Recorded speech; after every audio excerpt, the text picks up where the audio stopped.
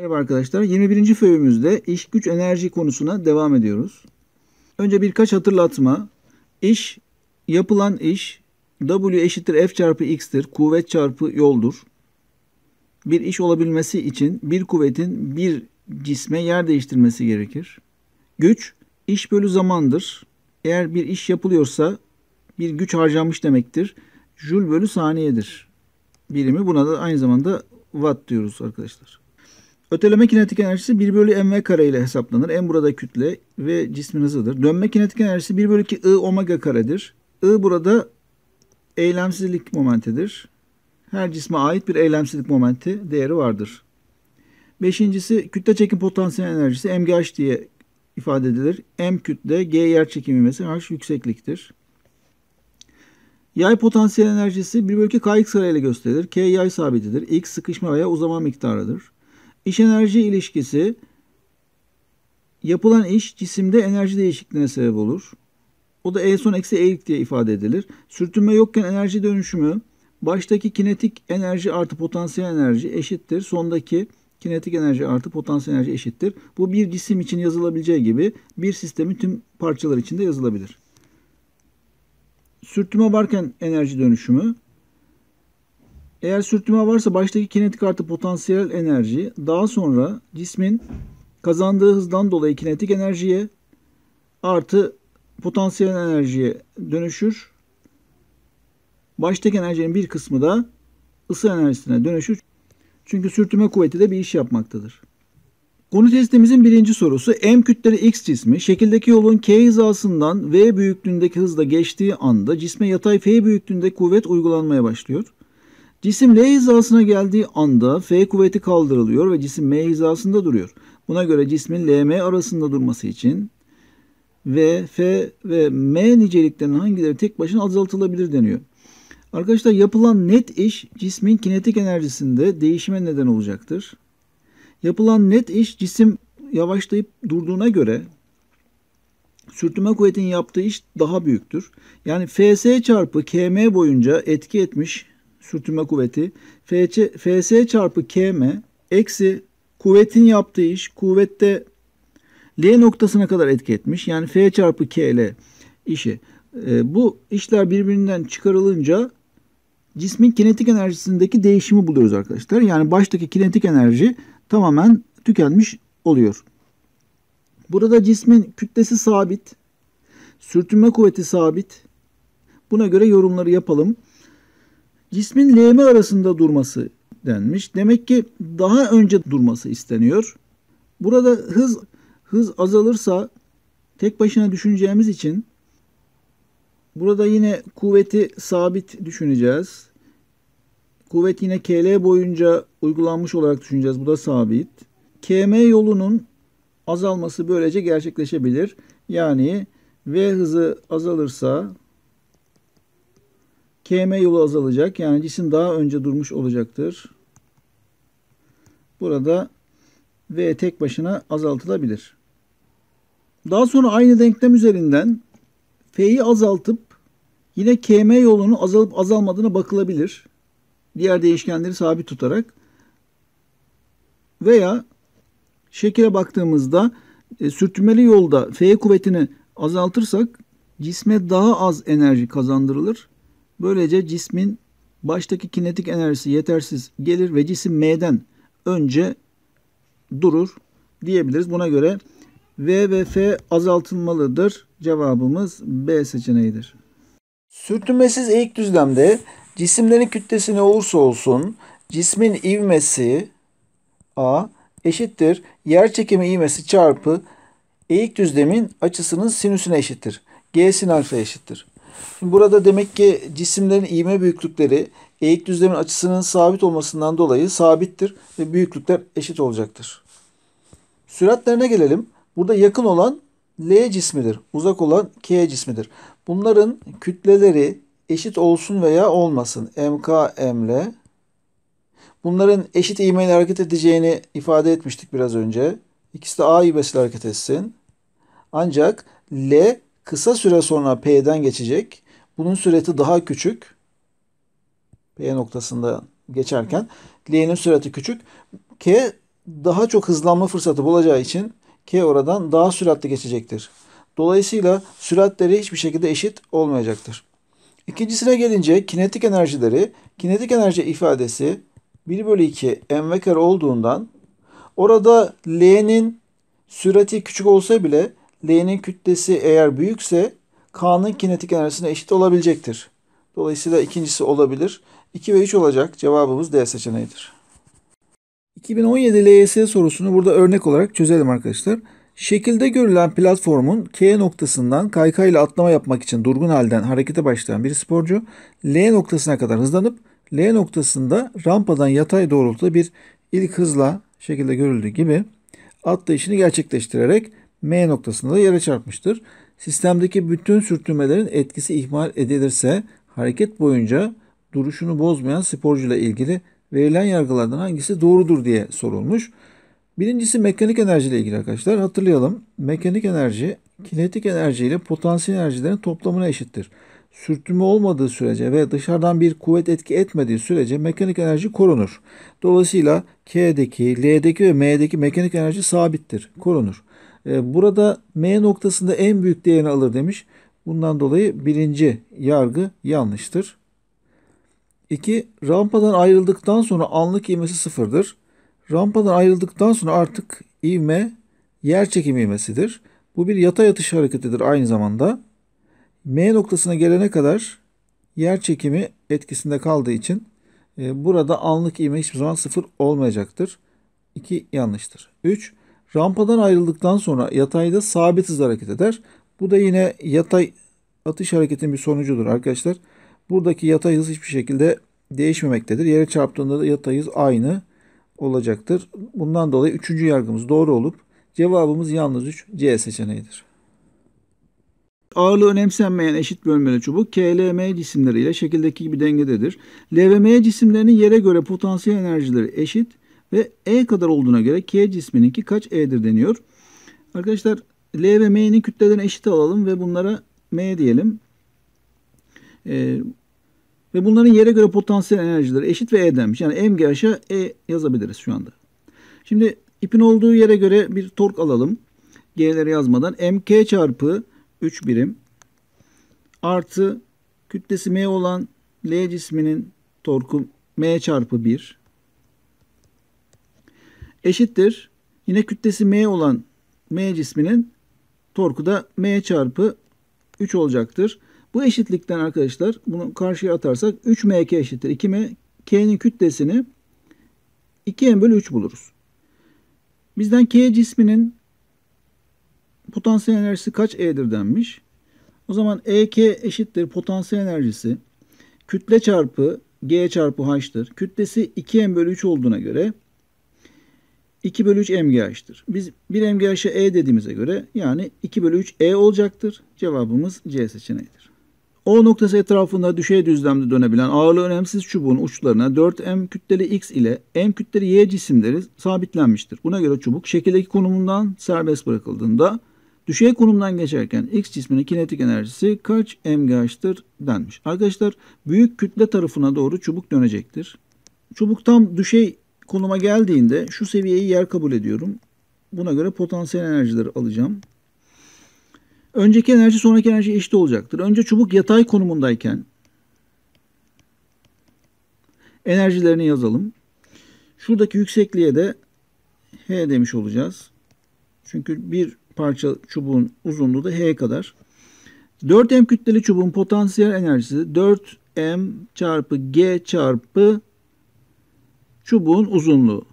Çubuğun uzunluğuna H dendiğine göre arkadaşlar L yerine H'leri de alabiliriz. Artı M kütleli çubuğun yine yere olan yüksekliği H'dir. MGH potansiyel enerjisi eşittir. Çubuk düşey konuma geldikten sonra da enerji sonra diyoruz. Bu durumda 4M kütlesinin yerde olmasından dolayı potansiyel enerjisi sıfırdır. Onu yazmıyoruz. Ee, M kütleli cismin yukarı olan, yukarıdan aşağı kadar yere kadar olan yüksekliği de 3H'tır. Buna 3 MGH diyoruz. Artı Çubuk bu düşey konumdan geçerken çizgisel hıza da sahip. 2 H'lık çubuğun ucundaki M kütleli cismin hızı 2V'dir. H uzunluğundaki çubuğun ucundaki 4M kütleli cismin hızı da V'dir arkadaşlar. Çünkü uzunlukla çizgisel hız doğru orantılıdır. O halde burada eşitlikle potansiyel enerji yazdıktan sonra x'in kinetik enerjisine ex, y'nin kinetik enerjisine e'ye yazalım. Eşitliğin sol tarafı 5 mgh, 3 mgh'ı karşıya gönderirsek 2 mgh kalacaktır. 2 mgh eşittir ex artı ey olacaktır. ex neydi arkadaşlar? 1 bölü 2 kütlesi 4m hızına v demiştik. v kare. ey de yani y'nin kinetik enerjisi de 1 bölü 2 kütlesi m. 2h çubuğun ucunda olduğu için hızı 2v idi. Onun karesi 4v kare. Şimdi ex'e e dersem o halde e'ye de e derim. Şimdi yukarıki denklemi devam ettireyim. 2mgh eşittir ex artı e'ye yani e artı e. O da eşittir 2e. 2 mgh 2e ise ikiler sadeleşir. mgh değerimiz e olacaktır. Şimdi bizden ne istemişti soru? X cisminin kinetik enerjisi kaç mgh? X cisminin kinetik enerjisini E dediğime göre bir E bir mgh olacaktır. Buna göre cevabımız A seçeneğidir. Doğrusal bir yol üzerinde durgun halden harekete başlayan bir cisme ait ivme zaman grafiği şekildeki gibidir. Cismin harekete başladıktan 2 saniye sonraki kinetik enerjisi 400 Joule veriliyor. Harekete başladıktan 4 saniye sonraki kinetik enerjisi nedir deniyor. Arkadaşlar ivme zaman grafiğindeki alanlar bize hız değişimini verecektir. 2 saniye sonraki hızını bulmak için şuradaki alana bakarız. Alan 40 çıkar. Yani hızı 40 metre bölü saniye olacaktır. Buradayken kinetik enerjisi 400 verilmiş. E eşittir 1 bölü 2 mv kareden 400 eşittir 1 bölü 2 m çarpı 40'ın karesinden m kütlesini 0,5 kilogram buluruz. Şimdi 4 saniye sonraki kinetik enerjisine bakalım. 4 saniyeye kadar olan alanları toplayalım. Şuradaki alana 40 demiştik. Buradaki alanda onun yarısıdır 20'dir. Toplam alan 60'tır. Yani son hızı 60 metre bölü saniyedir. Şimdi kinetik enerji değerini yazalım. 1 bölü 2 m kütleye 0,5 bulmuştuk. 60'ın karesi. 60'ın karesi 3600. 0,5 çarparsak yarısı 1800. 2'ye bölersek 900 jül olarak cevabımızı buluruz. E seçeneği diyoruz. Şekildeki sürtünmesi yolun KL hizasından X ve Y cisimleri aynı anda serbest bırakılmaktadır. Buna göre yargılarından hangileri kesinlikle doğrudur deniyor arkadaşlar. Birincisi aynı anda serbest bırakıldıysa arkadaşlar hangisinin yüksekliği fazlaysa buradan bakıyoruz. X'in yüksekliği Y'ninkinden fazla. Fazla ise baştaki potansiyel enerjileri kinetiğe dönüşeceği için arkadaşlar kütleler gitsin. Bu durumda yüksekliği fazla olanın yatay zemine ulaştığında da hızı fazla olacaktır. Yani x'in hızı y'den büyük olur. Birincisi kesinlikle doğrudur. İkincisi x, y cisimleri eğik düzlem üzerindeki ivmeleri aynı eğik düzlem üzerindeler arkadaşlar. Net kuvvet eşittir. MA bağıntısından sürtünme de yok. M kütleleri gider. A eşittir G sin alfa ile hareket ederler. Buna göre bulundukları konumun bir önemi yoktur. Her an A eşittir G sin alfa ivmesine hareket edeceklerinden iki de kesinlikle doğrudur. Üçüncüsü X cisminin yatay zemindeki kinetik enerjisi Y'ninkinden fazladır denmiş. Başlangıçtaki potansiyel enerjileri kinetik enerjiye dönüşür. Yatay zeminde ulaştıkları kinetik enerjilerini bilebilmek için hızları hakkında bilgi sahibi olmamız yeterli değildir. Buradan x'in hızının büyük olduğunu söylemiştik ancak x'in kütlesini bilmeden kinetik enerjisi hakkında bir şey söyleyemeyiz. İkisi için kinetik enerji yorumu yapamayız. Üçüncüde bir kesinlik yoktur. Cevabımız 1 ve 2 D seçeneğidir. Şekildeki KL dişlilerinin yarıçapları sırasıyla R2R'dir. K dişlisi sabit açısal hızla dönerken dişlilerin dönme kinetik enerjileri birbirine eşit oluyor deniyor. Şimdi K dişlisi R yarıçapına sahip olduğu için yarıçapı R olan 2 omegalık açısal hızla dönerse yarıçapı 2R olan 1 omegalık açısal hızla döner arkadaşlar.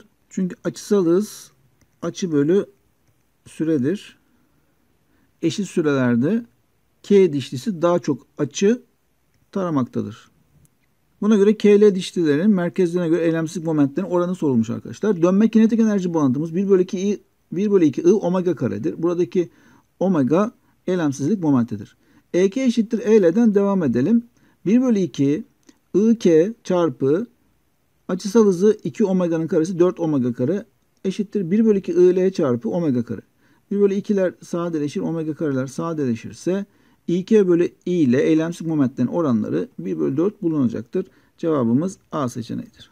5 kilogram kütleli X cismi eğik düzlemin K noktasından şekildeki gibi serbest bırakıldığında yay sabiti 200 Newton bölü metre olan yayı en fazla 2,5 metre sıkıştırabilmektedir. Yani buradaki sıkışma miktarı bize X eşittir 2,5 metre vermiş. Yayın serbest hali şekildeki gibi olduğuna göre H yüksekliği kaç metredir deniyor. Sürtünme katsayısı da parantez içinde belirtilmiş 0,5'tir. Önceki enerji sonraki enerjiye eşittir diyerek başlayalım. Önceki enerji cismin potansiyel enerjisidir. Bu potansiyel enerji yaya aktarılacak artı yol boyunca sürtünmenin yaptığı iş de var. Yani bir kısmı ısı enerjisine dönüşecektir. Bu V sürtünmedir.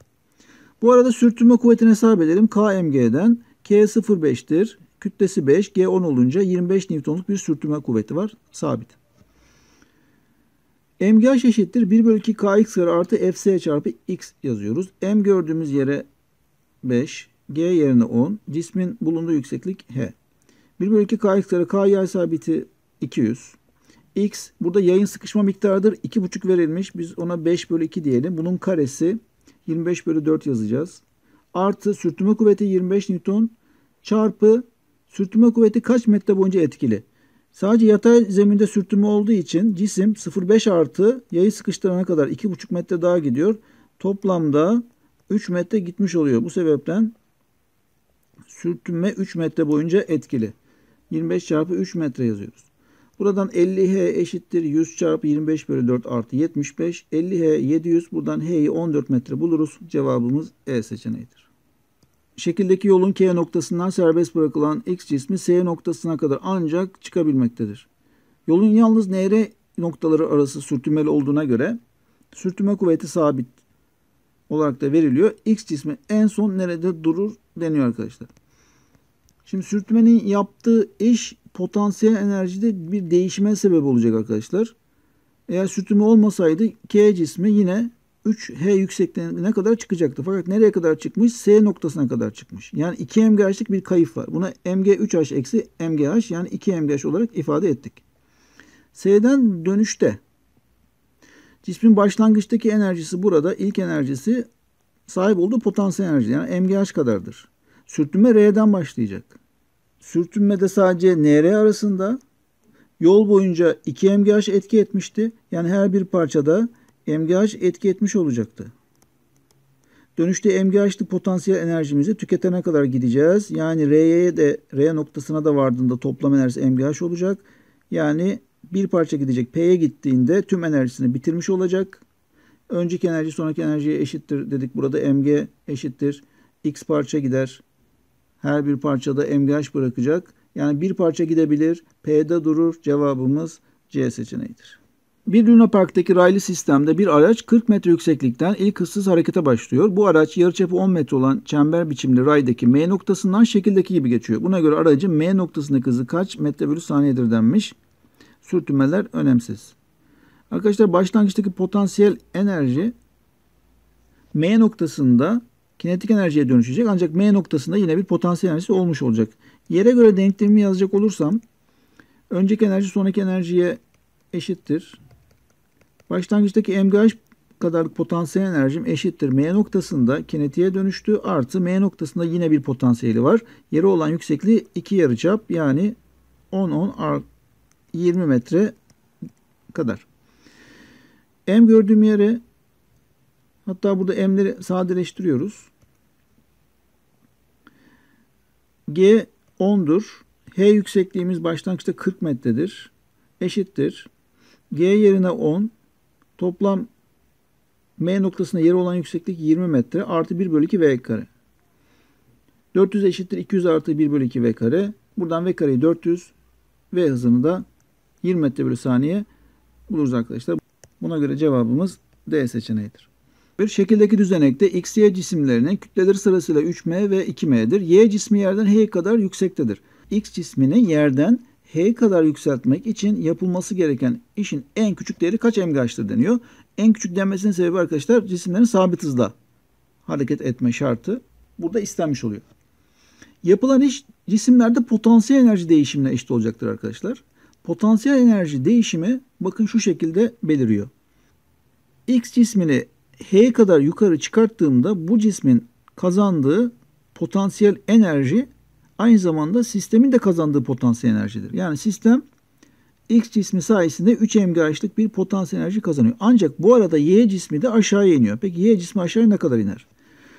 Şuradaki makara hareketli makara olduğu için X ipinin yukarı doğru H kadar hareket etmesi, bu ipin de aşağı kadar H kadar hareket etmesi. Bu arada Y'nin de H bölü 2 kadar aşağıya doğru hareket etmesini gerektirecek. Çünkü hareketli makaralarda hatırlıyoruz ki bir yükü aşağıya doğru H kadar hareket ettirmek veya yukarı doğru H kadar hareket ettirmek için şuradaki ipi 2H kadar hareket ettirirdik. O halde Y cismi ne kadarlık bir potansiyel enerji kaybetmiş? Bu arada Y'nin kütlesi 2M çarpı G çarpı H bölü 2. Yani X kazandı, Y kaybetti. Farkına bakalım. İkiler sadeleşti. 2M GH kadarlık bir potansiyel enerji kazancımız var sistem olarak. İşte bu da yapılan işe eşittir. Bizden yapılan iş sorulmuştu. Cevabımız 2 MGH olacak. C seçeneği. Esneklik kat sayıları sırasıyla K ve 5K olan MN yayları normal boylara değiştirilmeden S cismine ve PR çivilerine şekildeki gibi bağlanmıştır. S cismi sürtünmesi yatay düzlem üzerinde ok yönünde x kadar kaydırılırsa. Arkadaşlar S cismi x kadar kaydırılırsa N yayı x kadar sıkışmış olacak. M yayı da x kadar uzamış olacak. Sıkışmada ya da uzamada yaylarda esneklik potansiyel enerjisi depolanır arkadaşlar. Buna göre MN yaylarında oluşan esneklik potansiyel enerjilerin toplamı sorulmuş. Evet biraz önce de dediğimiz gibi x kadar uzayan yayda da x kadar sıkışan yayda da yay sabitleri oranında enerji depolanır. M yayında depolanan enerji 1 bölü 2 yay sabiti k uzama miktarı x kare. N yayında depolanan enerji 1 bölü 2 yay sabiti 5k sıkışma miktarı x kare. Bunlar toplanır. 6 bölü 2 x kare sadeleşir. 3 x kare çıkacak. Cevabımız B seçeneği olacak arkadaşlar. Bir su pompasının 2 metre derinlikteki kuyudan 2 kilogram su çıkarıp 5 metre bölü saniye hızla fırlatması isteniyor. Bu işlemin 5 saniyede tamamlanabilmesi için pompanın gücünün en az kaç watt olması gerekir deniyor arkadaşlar. Burada yapılan iş enerjideki değişim olacağı için güç de enerjideki değişim bölü süre olarak yazılabilir. Biz değişen enerjiye bakalım arkadaşlar. Suya bir potansiyel enerji kazandırıyoruz. Kuyudan yukarı çıkararak. Artı suya bir kinetik enerji kazandırıyoruz. Bunların toplamı arkadaşlar. MGH M yerine 2, G yerine 10, H 2 olursa artı kinetik enerji 1 bölü 2 M kare. Burada ikiler sadeleşir. Hız yerine 5 yazıyorum. Toplam 65 jüllük bir enerji çıkıyor. 65 jüllü de süreye bölersem 13 watt buluyorum. Cevabım C seçeneği oluyor. 2012 LYS sorusunda. Örneğimiz 2016'da çıkmış olan bir LYS sorusuyla ilgilidir. 1 kilogramlık kütlelik bir cisim 4 metre bölü saniye hızla fırlatılıyor ve cisim e, yayı 0,2 metre sıkıştırıyor ve daha sonra duruyor. Yani maksimum yükseklikte e, yay da maksimum sıkışmış oluyor. Cismin çıkabileceği yükseklik en fazla kaç santimetredir diye sorulmuş. Enerji dönüşümünü yazacak olursak başlangıçtaki kinetik enerji cismin yükselmesinden dolayı potansiyel enerjiye artı yayı sıkıştırmasından dolayı da esneklik potansiyel enerjisine dönüşecektir. EP yay yazalım. Baştaki kinetik enerji 1 bölü 2 mv kare. Daha sonra potansiyel enerji mgh olacak. Esneklik yaydaki enerji de 1 bölü 2 k x kare olacak. Ee, burada verilenleri yerine yazacağız arkadaşlar. 1 bölü 2 kütle yerine 1 kilogram. Cismin hızı 4'tü. 4'ün karesi 16 eşittir. 1 kilogram G yerine 10 yükseklik H artı 1 bölü 2 yay sabiti soruda 10 olarak verilmiş. Çarpı sıkışma miktarı 0,2 verilmiş. 0,2'nin karesi 0,04. 2 ile 16 sadeleşti. Burada 8 olur. 10H artı Burada 2 ile 10 sadeleşti 5 olur. 5'te de 0,4 çarpılınca 0,2 olacaktır. Burada 8 eksi 0,2 işlemi 10H'ye eşit. Ee, burada 7,8 olacak. 10H. H de burada metre cinsinden 0,78 olarak bulunuyor. Ancak soruda kaç santimetre dediği için metreyi santimetreye çevirdiğimizde 78 santimetre olacak. Buna göre cevabımız D seçeneğidir. Konu testimizin birinci sorusu X cismi üzerine uygulanan yatay F1, F3 ve düşey F2 kuvvetlerin etkisinde K noktasından L noktasına şekildeki gibi getiriliyor. Buna göre X cismi üzerine hangi kuvvetler iş yapmamıştır diye soruyor arkadaşlar. Yol doğrultusunda olduktan sonra uygulanan tüm kuvvetler pozitif ya da negatif olsun iş yapar. Ancak şekildeki gibi yukarıdan bastıran F2 kuvveti yol doğrultusunda olmadığından ya da cisme yol aldırmadığından bir iş yapmayacaktır. Yalnız F2 diyoruz. Cevabımız B olacaktır. İkinci soru yatay yoldaki bir cisme etki eden yola paralel net kuvvetin zamanla değişim grafiği şekildeki gibidir. Buna göre 0t zaman aralığında cismin yargılarından hangileri doğru olabilir diyor. Bir cismin hızı artar demiş. Arkadaşlar bir net kuvvet uygulanıyor. Net kuvvet burada F1'den F2'ye çıkarılmış. Net kuvvette bir artış var. Net kuvvette artış varsa ivmede artış vardır. O halde üçüncü yargı yanlıştır. Çünkü ivme azalır demiş. Cismin hızının artıp artma, artmadığına bakalım arkadaşlar. Eğer net kuvvet cismin hareket yönünde ise cismin hızı artıyordur. Eğer net kuvvet cismin hareket yönünün zıttında ise hızı azalıyor da olabilir. Bu olabilir sorusu ol, olduğundan birinci yargıyı doğru olarak alıyoruz. İkincisi cismin kinetik enerjisi azalır denmiş. Yukarıda da ifade ettiğimiz gibi eğer net kuvvet hareket yönüne zıt ise hız azalıyordur. Hız azalıyorsa kinetik enerji de azalıyor olabilir. Buna göre ikinci yargıda olabilir diyoruz. Buna göre cevabımız da C olacaktır. Üçüncü soru doğrusal bir yolda hareket eden eşit kütleli KVL araçlarına ait konum zaman grafiği şekildeki gibidir. Buna göre 0T zaman aralığında K'nin öteleme kinetik enerjisi L'nin kaç katıdır deniyor. Buradaki öteleme kinetik enerjisi skalar bir büyüklük olduğundan hızların büyüklüğüne bakmamız yeterli arkadaşlar. K'nin hızı konum zaman grafiğindeki eğimden anlaşılır. Konum değişim bölü zamanlara bakacağız. K'nin konum değişimi 3x'ten x'e 2x kadar değişmiş. Geçen süre t kadar. L'nin konumu sıfırdan x'e x kadar değişmiş. Geçen süre yine t kadar. Buradan K'nin hızına 2v dersek L'nin hızına da v diyebiliriz. Şimdi K'nin kinetik enerjisini yazalım. 1 bölü 2 m çarpı 2v'nin karesi 4v kare. Eşit kütleli dendiği için L içinde 1 bölü 2 m yazıyoruz. Bunun hızına da v demiştik v kare. Bunların oranı 1 bölü 2'ler ve m'ler sadeleşirse v kareler giderse 4 olacaktır. Cevabımız E seçeneğidir. Dördüncü soru bir asansör motoru 300 kilogram kütleli boş bir asansör kabinini 1 saniyede 5 metre yükseltmektedir. Asansörün motorunun bu olay sırasında sürtünmeden dolayı kaybettiği ısı enerjisi 2000 Joule olduğuna göre asansör motorunun harcadığı toplam enerji. Arkadaşlar toplam enerjinin bir kısmı asansörün potansiyel enerji kazanmasına gidiyor. Bir kısmı da sürtünmelere gidiyor. Yani ısıya dönen, dönüşen bir enerji var. Bu bize 2000 Joule olarak verilmiş. Artı bunun yanında kazandığı potansiyel enerji yazalım. Kütlesi 300 kilogram olunca G'de 10 verilmiş.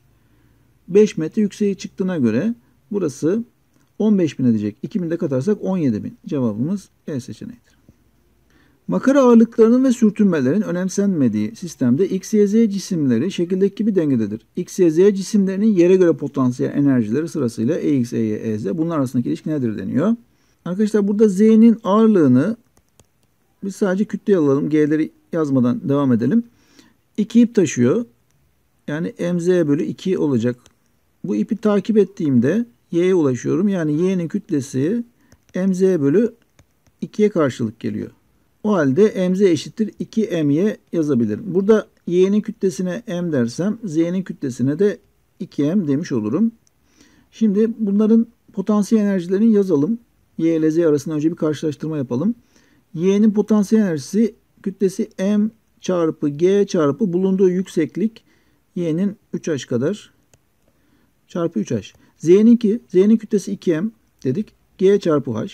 Burada karşılaştırma yapalım. Y'nin potansiyel enerjisi Z'den büyüktür.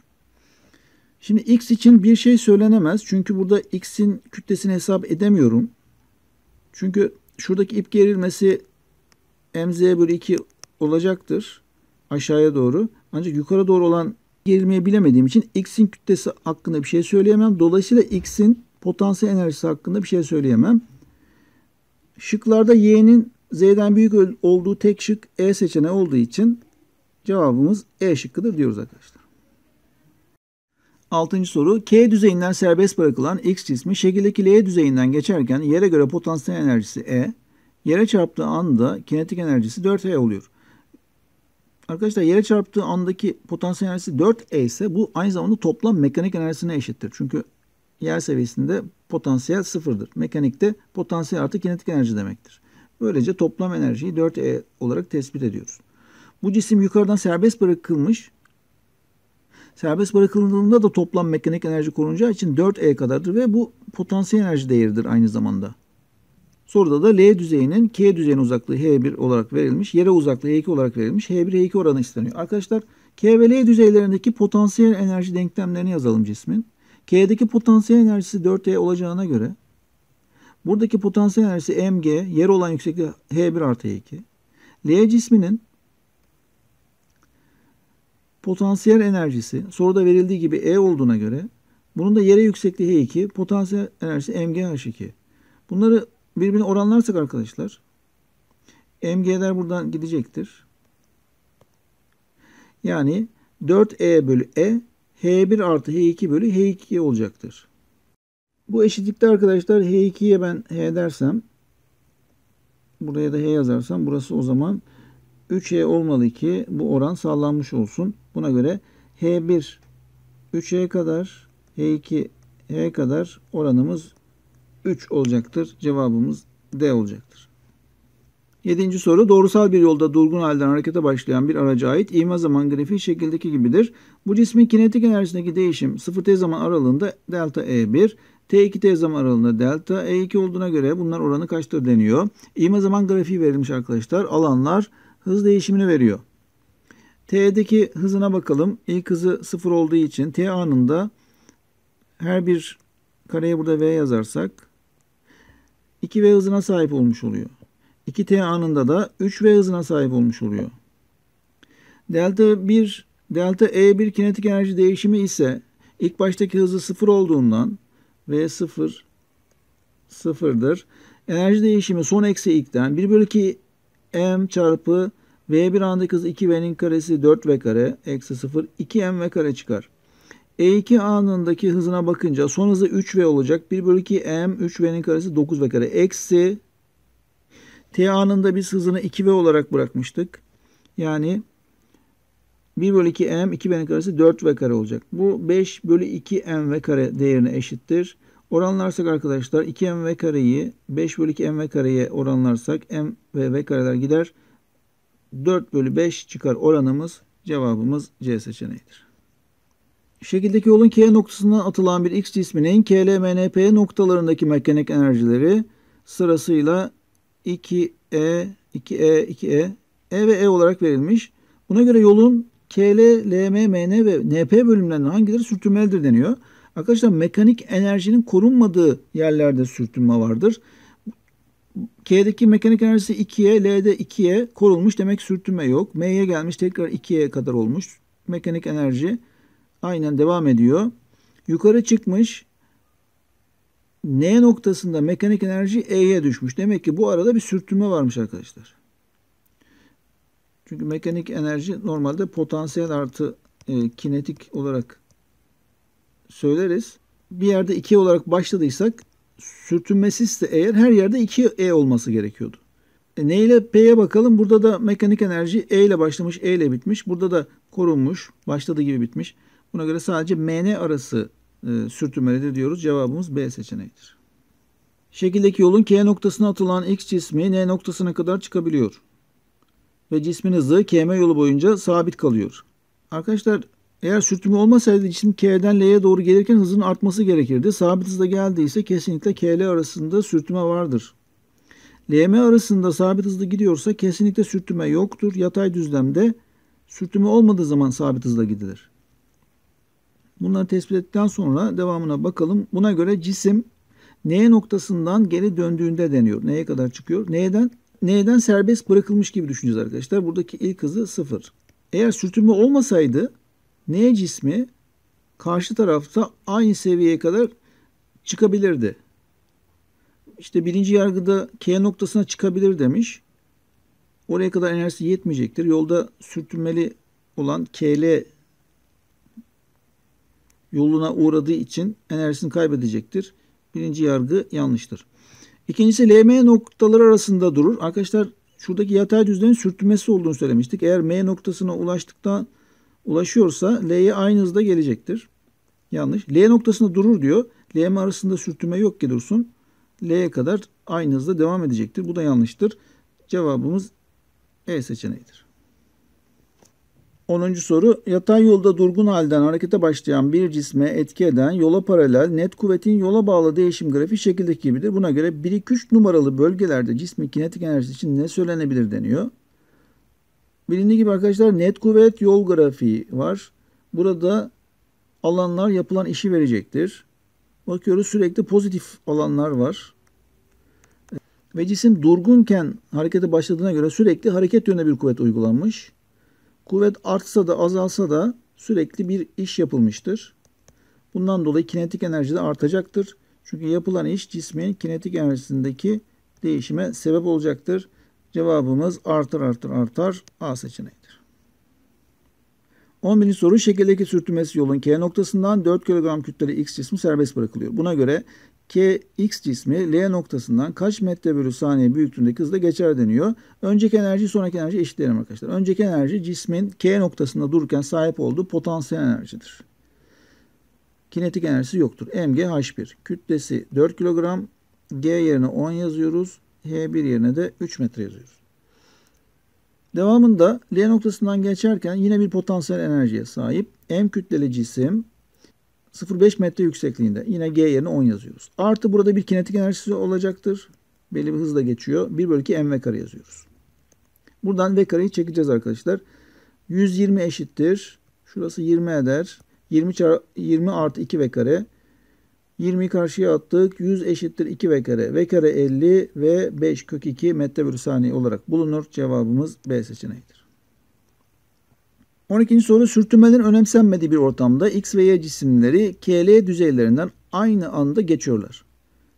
Cisimler yere aynı anda eşit kinetik enerjiyle çarptıklarına göre yargılarına hangileri doğru deniyor. Arkadaşlar X ve Y'den serbest bırakılıyor demiyor. Belli bir hızla aynı anda KL düzeylerden geçiyorlar ve yere aynı anda çarpıyorlar. Demek ki süreler eşit. Arkadaşlar sabit ivmeli hareket yapar sürtünmesiz ortamda bu cisimler Bundan dolayı ortalaması kullanabiliriz. X eşittir V ortalama çarpı T. Buradaki X cisimlerin aldıkları düşey yollardır. T'ler aynı olduğu için yüksekliği büyük olanın ya da aldığı yolu büyük olanın ortalaması büyük olacaktır. Demek ki X cisminin yüksekliğinden dolayı yere çarpma hızı da büyük olacaktır. Şimdi buradan yola çıkarak kinetik enerjilerin de eşitliğinden giderek kütleler hakkında bir yorum yapalım. EKX eşittir EKY. 1 bölü 2 mx ve x kare eşittir 1 bölü 2 my ve y kare. Eğer x hızı x'in hızı y'den büyük ise bu denklemde 1 bölü 2'leri sadeleştirip bakabiliriz. x'in kütlesi y'den küçük olacaktır. Buna göre birinci yargı doğrudur arkadaşlar. İkincisinde x ve y'nin L düzeyindeki kinetik enerjileri farklıdır demiş. L düzeyine geldiklerinde toplam enerjileri gerçi her yerde aynıdır. Biraz önce geçtiği gibi Y'nin kütlesi X'ten büyüktür. Kütlesi büyük olanın potansiyeli büyüktür ama kinetik enerjisi küçüktür. Dolayısıyla kinetik enerjileri farklı olacaktır. İkinci yargı doğrudur. Üçüncüsü X ve Y'nin her an yere göre mekanik enerjileri eşittir. Yere çarptığı andaki kinetik enerjilerin eşit olmasından anlıyoruz ki bunların toplam enerjileri yani mekanik enerjileri de aynıdır. Ve her an Mekanik enerji korunduğu için aynı olacaktır. Üçü de doğrudur diyoruz. Cevabımız E seçeneğidir. 13. Makara ağırlıkları ve sürtünmelerin önemsenmediği şekildeki sistemde P ağırlığındaki X cismi F büyüklüğündeki kuvvetle dengelenmiştir. Buna göre ipin ucu F kuvvetiyle H kadar çekildiğinde yapılan iş en az kaç pH olur diyor. Arkadaşlar X cisminin ağırlığına P dersek sistemin dengesine baktığımızda aynı ipte aynı gerilme olur. Burası da P olacaktır. İki ip tarafından dengelenmiştir. Burada F eşittir. P bölü 2 çıkıyor arkadaşlar. Şimdi makara sisteminden dolayı eğer X cismi yukarı H bölü 2 kadar hareket ederse hareketli makaraya bağlı olan F'in ucundaki ip de aşağı doğru H kadar iner. Dolayısıyla yapılan işi yazacak olursak F çarpı H'tan F yerine de P bölü 2 demiştik. P bölü 2 çarpı H cevabımız B seçeneği olacaktır arkadaşlar. 14. soru yerden eğik olarak atılan bir cismin kinetik enerjisinin EK ve yere göre potansiyel enerjisinin EP zamanla değişim grafiği şekildeki gibidir. Cismin kütlesi 2 kilogram olduğuna göre cismin harekete başladığı andaki hızı kaç metre bölü saniyedir denmiş. Arkadaşlar cisim en tepe noktadayken potansiyel enerjisinin en yüksek olduğu yerde enerjisi 16 Joule olarak verilmiş. Kinetik enerjisi de orada 9 Joule olarak verilmiş. En tepe noktasındaki potansiyel artı kinetik bize mekanik enerjiyi verecektir. O da toplam 16 artı 9 25 Joule olacaktır. Ve bu mekanik enerji korunduğu için cisim yere çarptığı andaki kinetik enerjisi mekanik enerjisine eşittir. Yani toplam enerji eşittir. O da 1 bölü 2 mv karedir. O yüzden toplam enerji değerini kinetik enerji yerine yazıp 25 eşittir 1 bölü 2 mv kare. M'ler, M ile 2 sadeleşir. V kare 25. V hızında 5 metre bölü saniye buluruz. Cevabımız E seçeneğidir. 15. soru K cismi eğik düzlem üzerinde şekillik konumda tutulmaktayken serbest bırakılıyor. Sürtünmeler önemsenmediğine göre K cisminin serbest bırakıldıktan 1 saniye sonra yerden yüksekliği kaç metredir denmiş. Önce 1 saniye sonra kazandığı hızı bulalım. Eğik düzlemdeki ivme sabittir ve G çarpı sin alfadır. G yerine 10, sin 30, sin 30 yerine 1 bölü 2 yazarsak ivmesini 5 metre bölü saniye kare buluruz. Bu demektir ki hızı her saniye 5 artacaktır. Veya 1 saniye sonraki hız denkleminden ilk hızı 0 v eşittir a çarpı t'den ivme 5 çarpı 1 yani 5 metre bölü saniye olarak hızı buluruz. Şimdi enerji korunum denklemini yazalım. Önceki enerji sonraki enerji eşit olacaktır. Önceki MGH1 potansiyel enerjimizi daha sonra geldiği H yüksekliğindeki ki buna H2 diyelim başlangıçtaki yüksekliğinde H1 diyelim. Buradaki potansiyel enerjinin toplamına eşit olacaktır. Ayrıca burada bir de kinetik enerjisi olacaktır. Yani MGH1 eşittir 1 bölü 2 mv kare artı MGH2 yazdık. Buradan m'ler sadeleşir. G gördüğümüz yere 10 yazarız. H1 ilk yükseklik 10'dur. 1 bölü 2 çarpı 5'in karesi artı G yerine 10 H2'yi bulmaya çalışıyoruz. 10 çarpı 10 100. 5'in karesi 25. 25 bölü 2 10H. 100 eksi 25 bölü 2 eşittir 10H2. Yani 10H2 175 bölü 2 yani H2 yüksekliğini 8,75 metre buluruz. Cevabımız E seçeneğidir. 16. sorumuz dönme kinetik enerjisiyle ilgili bir soru. O merkezli R yarıçaplı 4 kilogram kütleli dairesel disk O noktasının yere göre hızı 4 metre bölü saniye büyüklüğünde olduğu hızla şekildeki ok yönünde dönerek ilerlemektedir. 4 metre bölü saniye arkadaşlar çizgisel hızdır. Buna göre diskin toplam kinetik enerjisi soruluyor. Toplam enerji yani toplam kinetik enerji dönme kinetik enerjisi artı öteleme kinetik enerjisinin toplamıyla bulunur. E toplam eşittir 1 bölü 2 I omega kare yazılır. I burada arkadaşlar eylemsizlik torkudur. I parantez içinde verilmiş. Artı 1 bölü 2 m kare. I gördüğümüz yere 1 bölü 2 m kare yazılır. Ayrıca omega gördüğümüz yere de çizgisel hız bölü yarıçap yani v bölü r yazılır. Karesini alarak yazarsak v kare bölü r kare olur. Buradaki r kareler sadeleşir. Böylece eşitliğimiz 1 bölü 2 çarpı 1 bölü 2. 1 bölü 4 çarpı m çarpı burada da 1 v kare kaldı. Artı yine öteleme kinetik enerjisi 1 bölü 2 mv kare. Bunların toplamı 3 bölü 4 mv kare. M yerine 4 kilogram yazarsak, çizgisel hız yerine de 4 yazarsak buradan 4'ler sadeleşir. 3 çarpı 4'ün karesi 3 çarpı 16 48 jül olarak sonuca ulaşırız. Cevabımız A seçeneği olur arkadaşlar. Sürtünmesi eğik düzlemde deniyor. 4 kilogramlık cisim yayla dengelenmiş durumda. 4 kilogramın ağırlığı ne kadardır? 40 Newton. Peki bu 40 Newton iki bileşeni var. Biri zemine dik olan bir de zemin doğrultusundaki şu bileşendir. Bu da 40 çarpı sinüs 37 ile hesaplanıyordu. Sinüs 37 0.6 olduğundan 40 ile 0.6'yı çarptığımızda burada yayı sıkıştıran kuvveti buluyoruz. Yani 24 Newton. 24 Newton yay tarafından dengelendiği için aynı zamanda yayın içindeki geri çarjı kuvvettir. Yayda oluşan kuvvet de 24 Newton'dur. F eşittir Kx biliyoruz Hooke kanunu.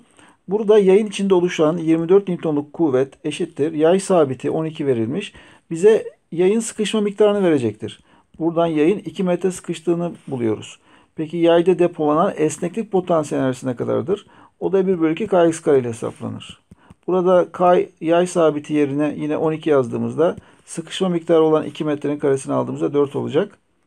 Ve sonuçta 48 bölü 2'den 24 joule çıkacaktır. Cevabımız A seçeneğidir.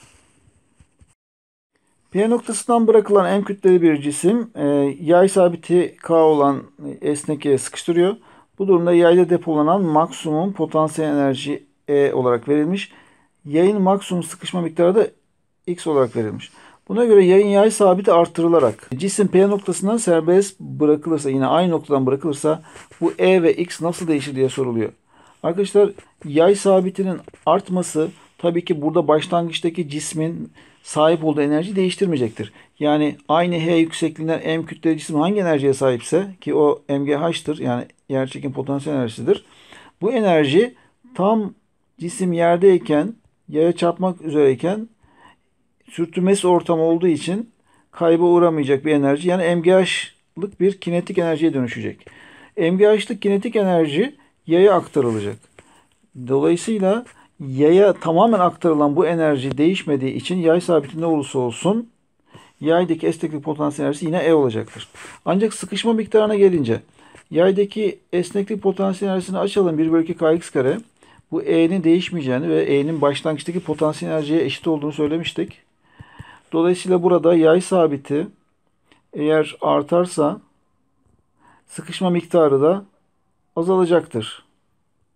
Dolayısıyla K de burada azalır olacaktır. Değişmez azalır. Cevabımız A seçeneğidir.